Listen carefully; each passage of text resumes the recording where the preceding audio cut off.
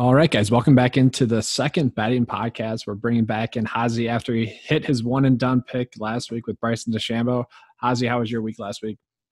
Uh, it was good. Weather was nice. The picks, uh, I just, I think I just got the one and done. Uh, my Sebastian Munoz tout didn't turn out too well. He screwed me on my going six for six on my lineup too. So could have been worse, but uh, not too bad overall.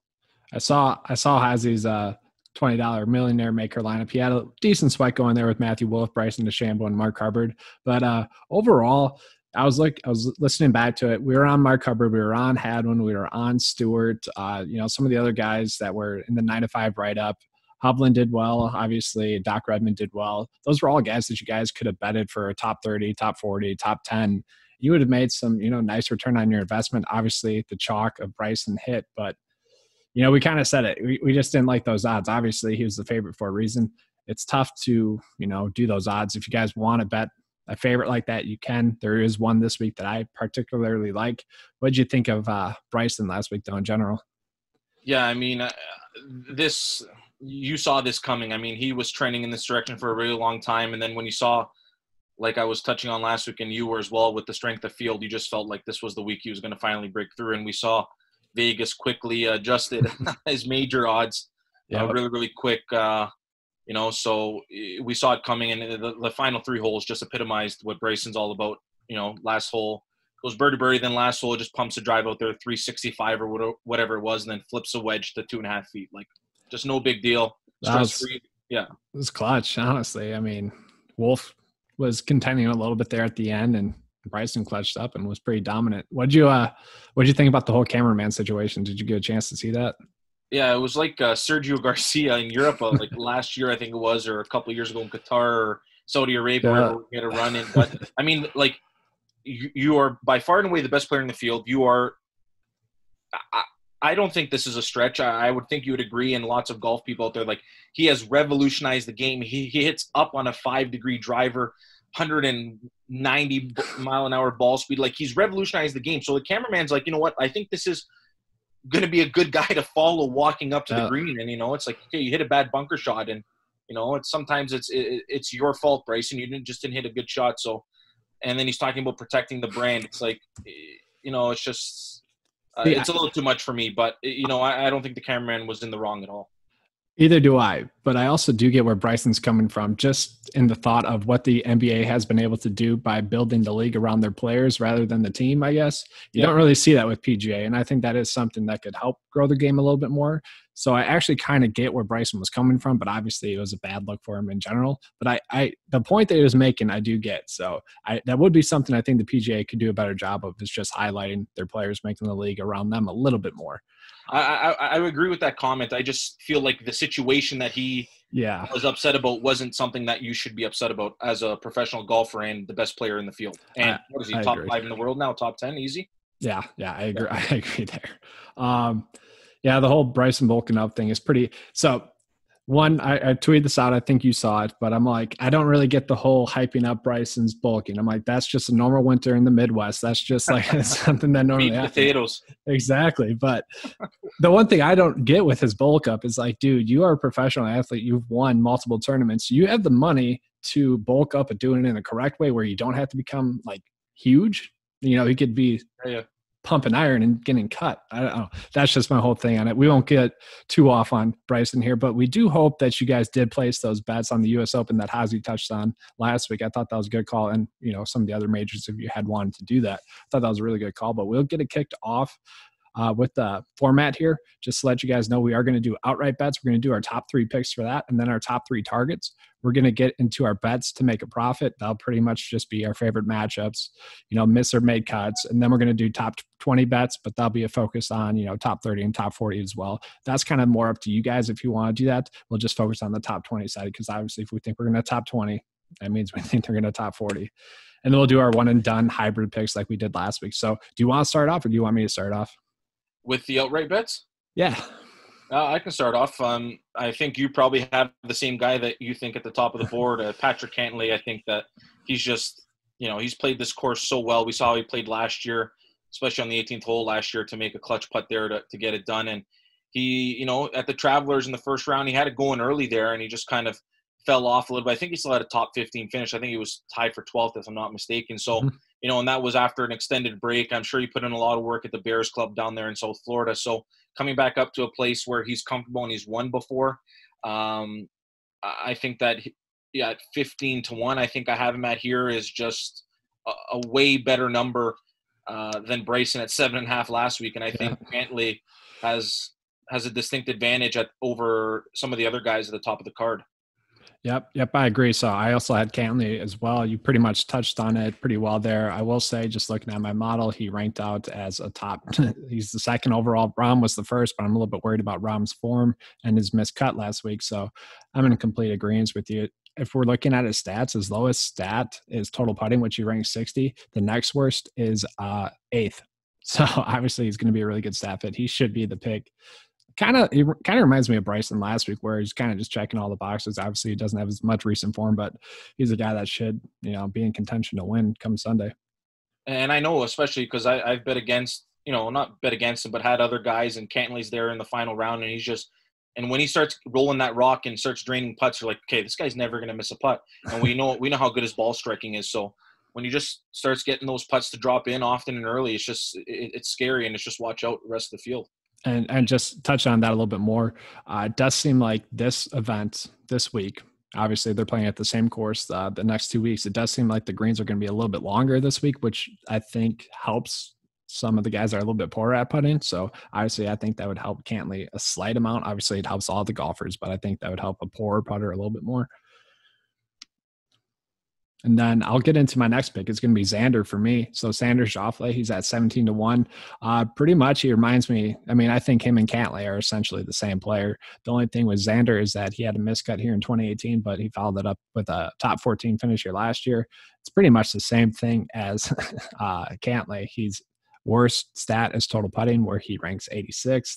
And then everything else, his lowest stat is total driving at 21. So he ranks out top four in my model this week. And I think that those guys are both great plays. Obviously, Xander hasn't missed a cut this year and or since the break. And he also has had uh, two uh, top 20 finishes out of three starts. So I think that's just phenomenal. The only thing that concerns me a little bit with Xander's is chipping. Uh, it's not up to par as some of the other guys, but when he's striping it, uh, he's not chipping very often. And yeah. you know, and just looking at these odds, yeah, I am at 19 to one here, and the Hideki hasn't looked anything special since the restart, and he's 17 to one. Brooks, couple week layoff here. Jon Rahm, like you said, his form's been inconsistent. Justin Thomas, I, I, me and him probably could have a putt off, and I think it would be tightly contested. So to get Xander at, at that price point, I mean, sign me up all day long. Yeah, I, I, it's just it seems like a solid pick, especially just at those odds. I am noticing uh, Bet three sixty five has better odds this week than DK, so just something to throw out there for you guys.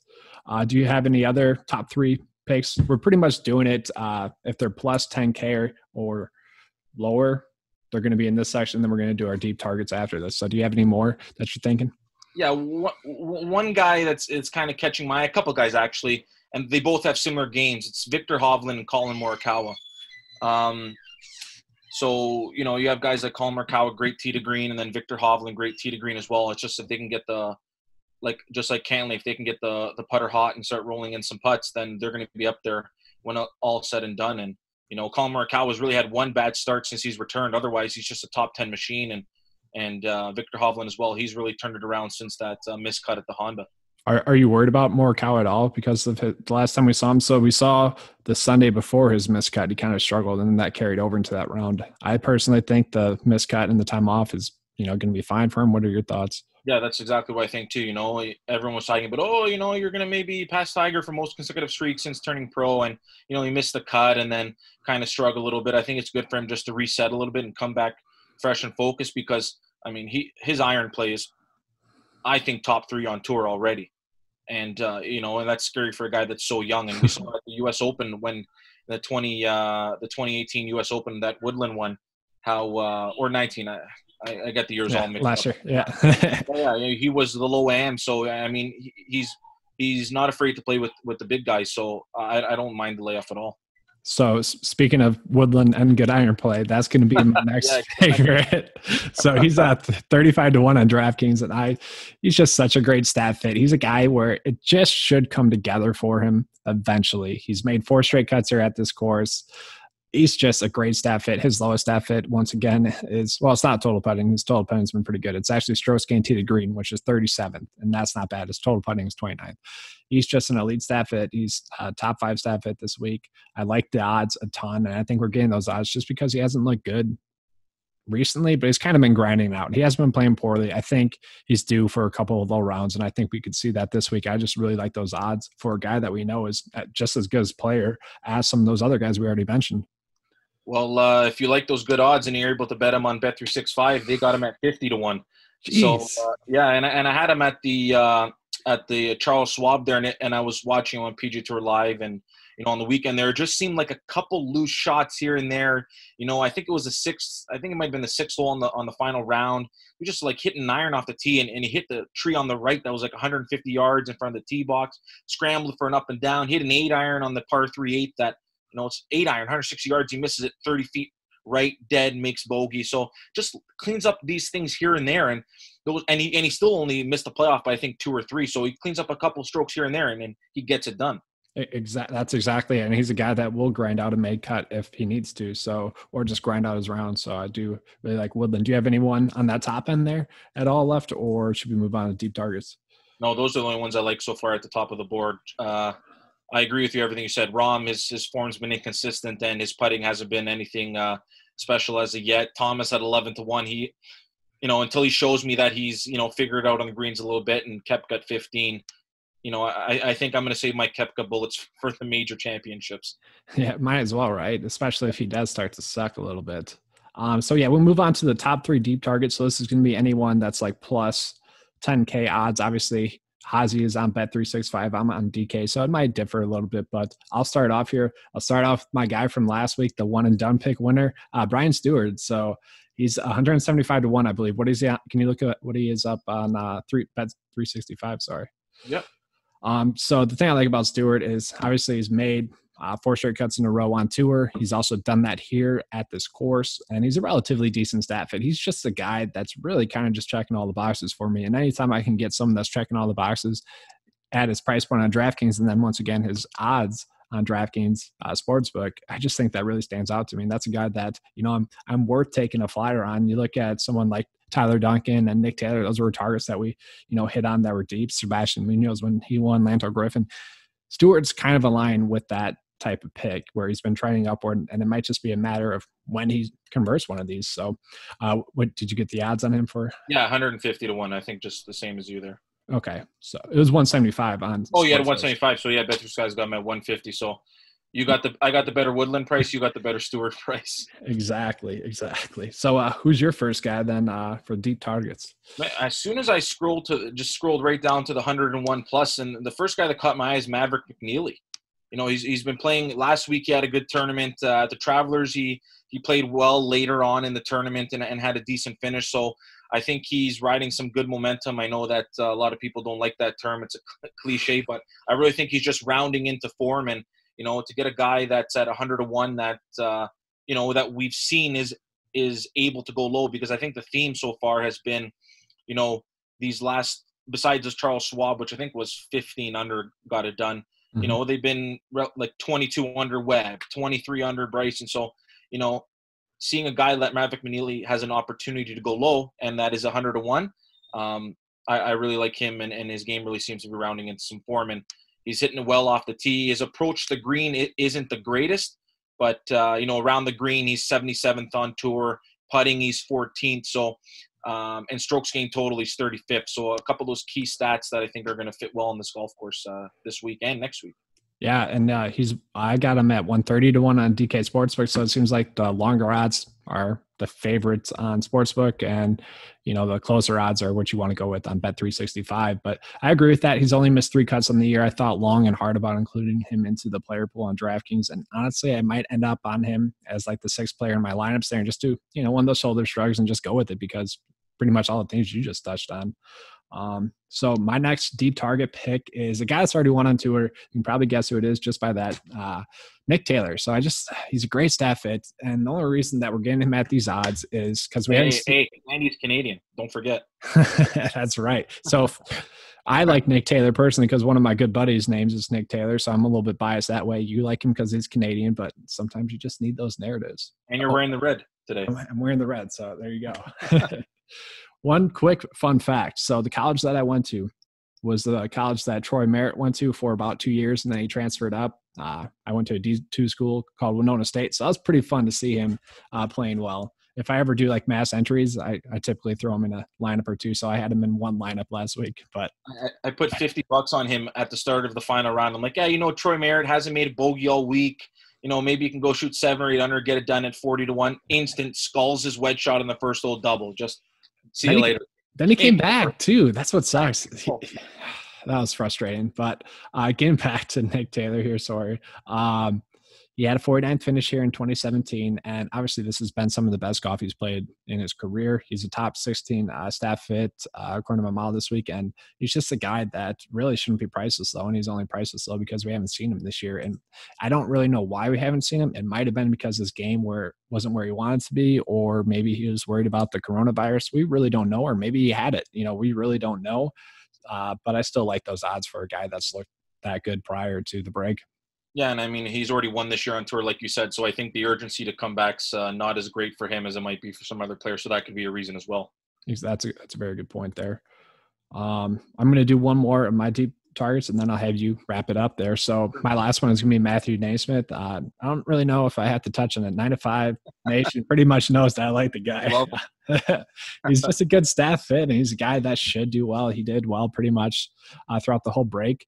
And one thing I do worry about is these guys that are kind of lower caliber players that are up and coming that when they see their name start to trend on Twitter and whatnot, you know, start to get that hype, they might overthink it a little bit. And maybe that's why he missed the cut because he was getting a ton of hype that last week that he missed the cut. So I don't know. That could be one of the things I'm seeing at 175 to one. So decent odds there for Matthew NeSmith.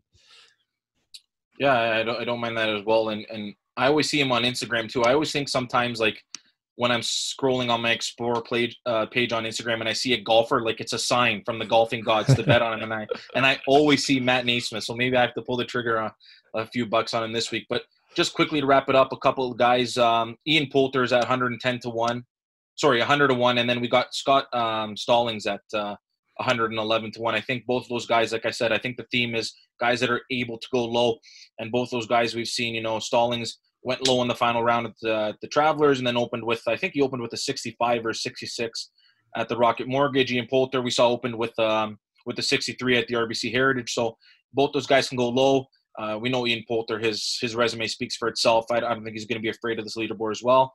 And Scott Stallings is a, a, guy when he's on, he, he can he can get up that leaderboard. So out of I think those three guys in, in the 100 to one plus range are are my three that I like the most. Yeah, and really all six of those players are players that I see making the cut this week, and you know, I I think that's why we're getting them at those odds. But obviously, we like those odds because we think that they're going to make the cut.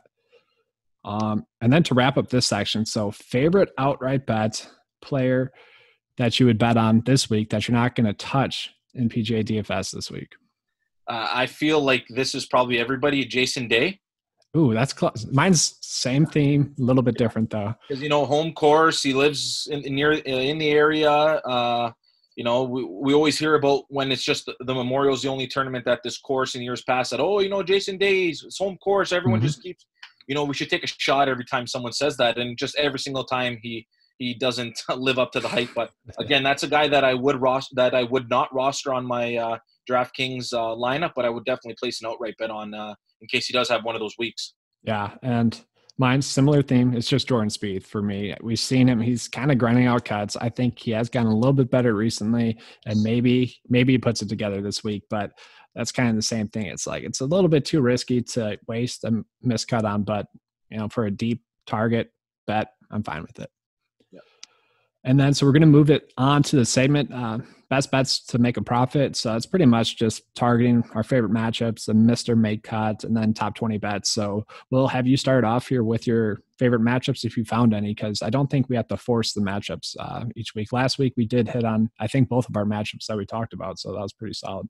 Yeah, I mean, just looking at it quickly here, I got uh, matchups here on Bet365 is Cameron Champ and uh, Matt Wolff, and they're both uh, paying a dollar ninety. And you know, the last time I can remember, uh, and actually I had I had bet on Bryson to win the Northern Trust. Then he followed it up with the victory there at the TPC Boston. It's it's very rare that a, that a player backs up a uh, a win with with another good week that's you know up near the top of the leaderboard. And you know I think maybe the final round that Matt Wolff had could maybe set him back a little bit to be honest because he hadn't had a great year at all. His approach to the green statistics were were absolutely dreadful to be honest and and he was actually putting really really well last week so and i think you mentioned one of your videos earlier on the week that cameron champ's actually a really good course fit mm-hmm. uh, this week and and we saw that uh, you know he played well last week on really short notice and and to be honest one of the reasons why i actually like cameron champ uh, thinking about now maybe as an outright as well as i think he's a little pissed off with with the with the backlash he got about the corona test because we've seen a few false positives now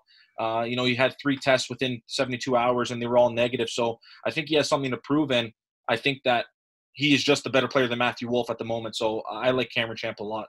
Yeah, I, I agree with that. Actually, one, Wolff should definitely regress back. That's a very good point. Uh, he kind of just got hot for two rounds, and Cameron Champ's a much better stat fit than him. Yes, Champ missed a cut here last year, but he was kind of playing poorly at this time of the season last year.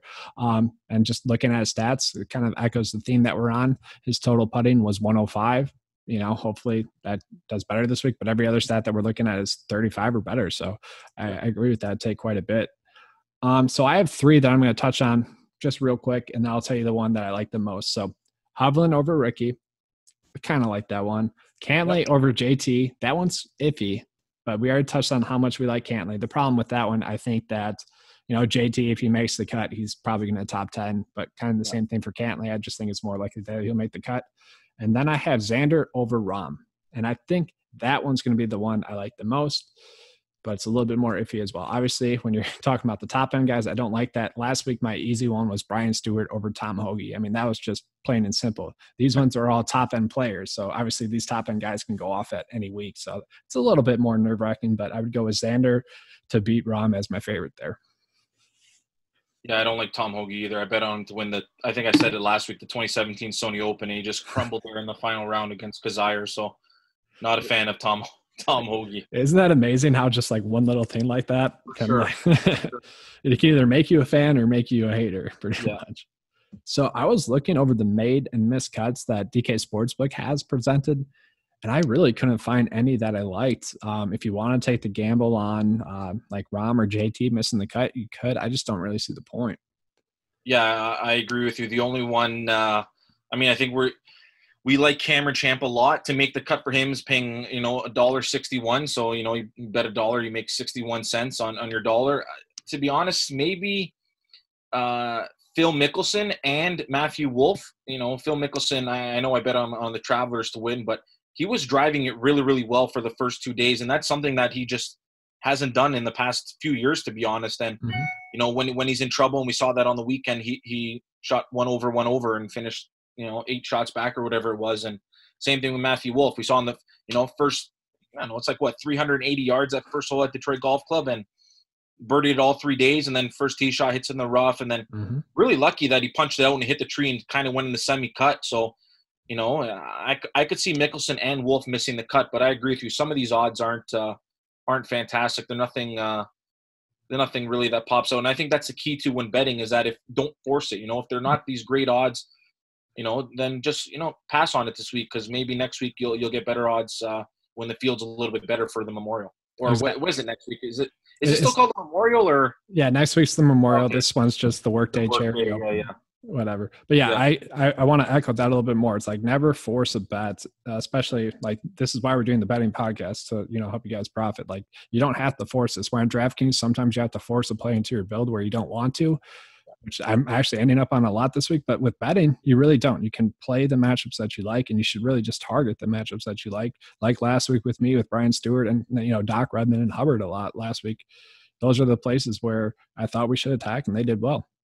Um, but we'll move on to the top 20 bets. Now, keep in mind, we're doing top 20 bets, but obviously, if we think they're top 20, they're going to top 30 and top 40 in our heads. Um, you guys can choose to bet that however you like. Um, I'll start off here with our boy from last week. We said he has no win equity. Adam had one. I know, I know. He gave me a little sweat there, but not really. I mean, he eagled to get like a top five finish, which was nice to see, but he never really was in contention. But I'm looking at his odds to top 20. It's 2.5. His odds uh, to top 30 are uh, plus 125, and his odds to top 40 are minus 125. So, you know, okay odds there. Um, but this is a course that sets up really well for him. We talk about players that are trending. It does seem like he's been trending in the right direction.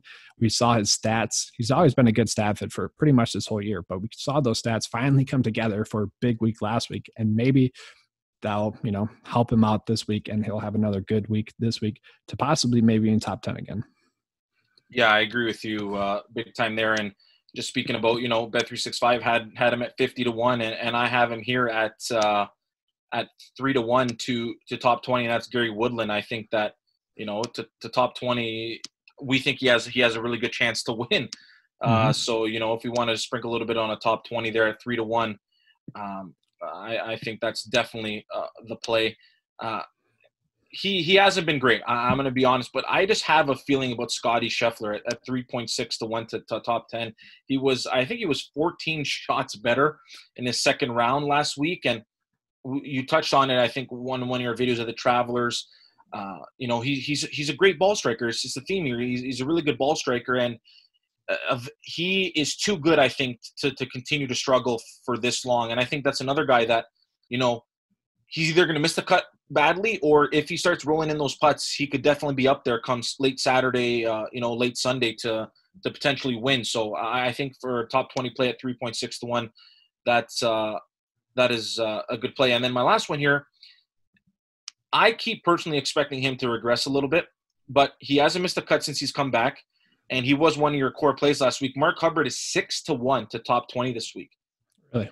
Yeah, and I keep expecting the uh, it's Mark Hubbard. Eventually, he's gonna like you know crumble here or there, but he just keeps popping back up there. And what really, you know, made me a believer in Mark Hubbard is, you know, he wasn't off to the greatest of starts on Saturday afternoon with Bryson, and you expect the guy maybe for the first time you know, playing with a superstar like that in, in one of the final groups on a weekend to, to fall back a little bit. But he stayed right in there. Mm-hmm. I think mm-hmm. he shot a bogey free round, if I'm not mistaken, and uh, or he was doing really well. And then I think yeah. he doubled.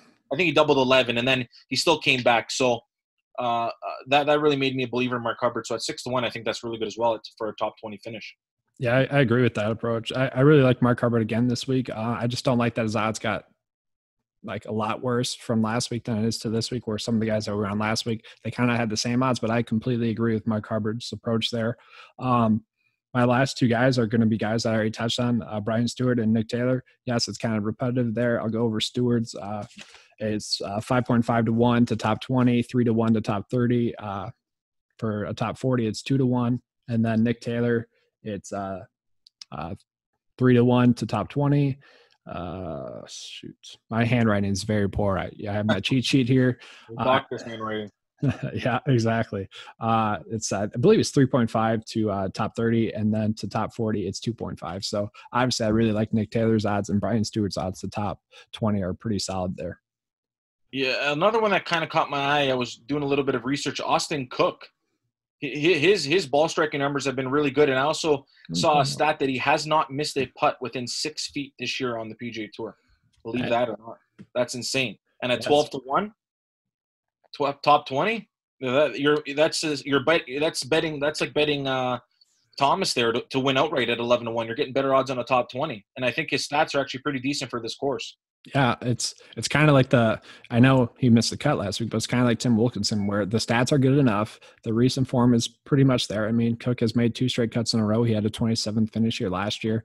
Like you said, he's a good ball striker and total driver. If he can put the rest of his game together, he could definitely top 20 pretty easily there. And he One has more, a, go ahead. Yeah. One no, I was because I was debating on on definitely I don't think an outright bet, but on my lineup. But Jason Dufner, he's seven to one to top twenty this week. We know he he won. Uh, well, you know, he he kind of crumbled almost down the stretch there uh, a few years ago when he had like a seven shot lead going to the third round. But you know, he has a good course history. He's won here before. Um, you know, and, and when I'm looking on PGA Tour, when when he's you know four under through ten, let's say on on a weekend when he's you know barely made the cut, he he's losing strokes putting, but he's hitting every fairway, hitting every green. So it's another guy. If he can just start draining some putts, you, you could see him up there. Yeah, it's essentially like I guess Brent or Brendan Steele, uh, Kevin Streelman, where those guys have had good course history kind of the last few weeks. And you know that one of these weeks they're going to pop because they had that good course experience. Jason Dufner has three or two top 10 finishes here in the last three years. So I do get that approach there. And with those odds, it does make sense.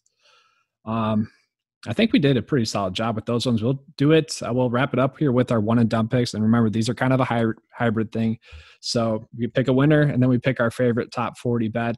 It might just be a recap of the earlier podcast. So you can't pick Bryson and Sebastian Munoz, and I can't pick uh who is it? Brian Stuard and Tim Wilkinson. So well, I'll, I'll tell you one thing. I, I don't I don't want to take uh I don't want to draft Sebastian Munoz ever again. That's 100% the truth. That's how I feel about Wilkinson, to be honest with you. I'm just trying to get on uh, DraftKings here because um, Bet365 does not have top uh, 40 yet, just top uh, just top 20. So okay. yeah, I'll, I'll, go first then. So sure. Uh, my winner will be Patrick Cantlay at 13 to 1. I'm going with the Hazy move from last week, going with our favorite pick, Bryson, from last week. So this week will be Cantlay for me. I just think the stars are aligning for him. I think he could really go out, and I do like those odds at 13 to 1. And then my favorite bet to top 40, you guys probably guess it's going to be Nick Taylor. Uh, I just really like those odds for him 2.5 to 1. That's pretty solid. You could bet, you know, whatever number you feel comfortable betting with there. Uh, I, I think it's a solid bet for a guy that has played well. Obviously, we haven't seen him, but I do think that's a solid bet. Yeah, I agree with you there. Um, yeah, a guy that's been re- playing really, really well, and he's done very well for my DraftKings lineups is Brian Stuard at three to one on DraftKings Sportsbook to uh, top forty. I mean, there's not much more to be said. He's been playing really, really well, and essentially now with the cut being what is it, top sixty-two or whatever now that essentially if you make the cut, you have an, a really, really good chance of top fording, a better mm-hmm. chance of top fording than than not. So um, at three to one, I'll take Brian Stuard. And then for my outright, I will take Viktor Hovland at 26 to 1. I, I thought long and hard about Hovland as well there. So probably not going to be many more weeks where we can use them where we feel comfortable with it. So I agree with that approach. Yeah, and, and I, I sound like a broken record so far today, just talking about a guy if they can just roll in some putts. But when you have a field like this and the numbers have shown in the past few weeks that you're going to need to go low, Hovland Morikawa, you know, Schauffele, what all those they're great ball strikers. They're going to put themselves in positions to make the putts, and that's all you can ask for at the end of the day. Exactly. I mean, you know, I, I get frustrated when I see, let's say, Woodland miss an eight footer for birdie, but realistically, that's a 50-50 chance that a PGA Tour player is going to make an eight footer, right? So more times than not, and then you know, I think thirty three feet's the the average of you three putt just as likely as you one putt. So yep uh, yeah, I mean, you just want to get a guy that's going to put themselves in positions to make a lot of birdie putts, and that Viktor Hovland is definitely going to do that this week. You summed it up pretty well because eventually that putter is going to get hot and they're going to be right in contention to win. So I agree with that. And you summed up pretty well with the top 40s there. I do want to echo this real quick as well. It's uh I've noticed that with these guys with lower odds or that are value plays on DraftKings is that if they're standing out as good stat fit, um, as guys that we think are going to make the cut, they typically do top 40 or better. It's the guys that on the, are on the higher end, I guess Gary Woodland, for example, that we're kind of iffy on that week, or you know maybe we don't know how much we should play him. I guess Hideki would be a good example, or Sungjae Im would be a good example of that. Where yes, we think that they're going to make the cut, and if they put it all together, they could easily top ten. But on the flip side of it, they could easily struggle and you know only top 50. I've noticed on the higher end that happens a lot more frequently than the guys that I really like as, you know, lower value, I guess, plays. So just want to echo that real quick. Yeah, I mean, you said it perfectly. All right. So that's going to be wrapping up this podcast. So next week we'll be back for the Memorial podcast. Obviously, that'll be the same course. So we'll kind of read and react to what we saw from this week. And that one should be one that we can attack pretty aggressively. As you said it earlier, it's going to be a much higher caliber field. So we should get some much better odds next week. So uh, that's all we have for this podcast. Thanks for listening, guys.